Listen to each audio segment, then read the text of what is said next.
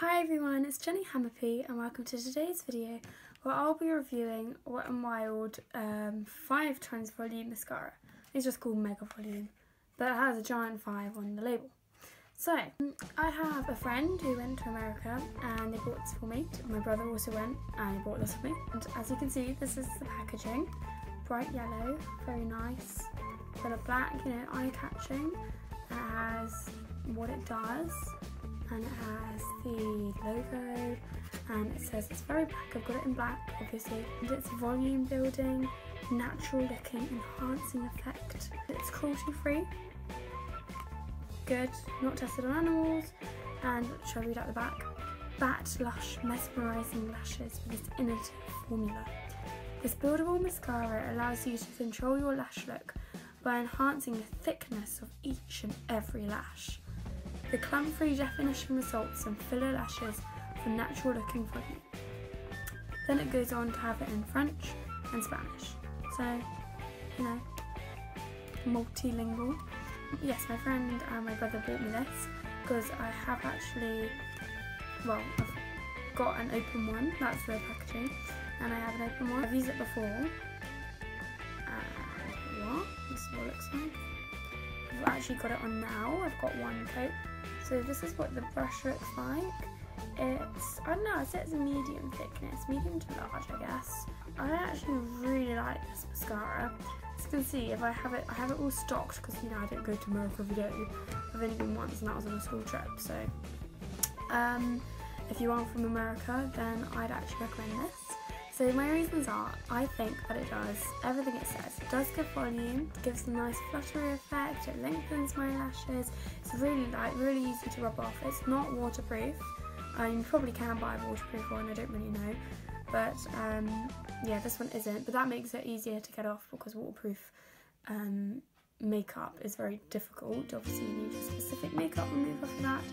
Um, and the packaging is really cheerful and obviously like I said it's cruelty free etc.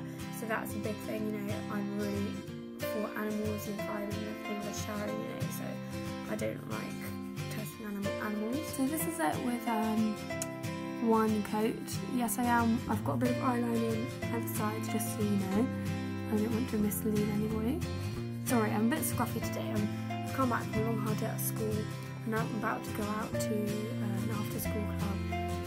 Been a long day, I probably didn't look very nice, I shouldn't have recorded a video this day, but what can you do, I had a bit of spare time. So that's it with one, and I'm just going to apply a second coat, let you see what it looks like.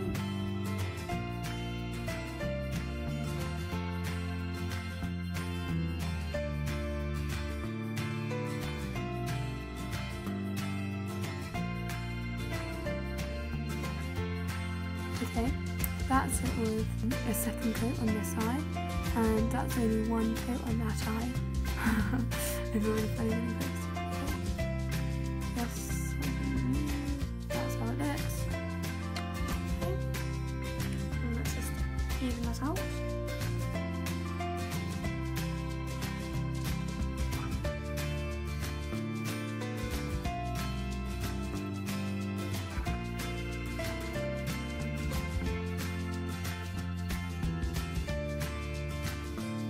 So that's it with the second coat on both eyes. Just did my left one. Um, so there we are. What else I really like about um, this mascara is that it's buildable. Because my other mascara is not very buildable. I found it quite difficult to have more than one coat on at a time unless you want major clumpage. Not a good look. Overall, I've well, I'm quite biased because you know this is the one which I use all the time. But I would give this five stars. I was like the five times volume. Um, the only problem for me is it's really difficult for me to get because I live in England. Um, I have to either pay loads for an expensive one to be shipped over, or I have to wait for someone to go to America and ask them to buy it for me.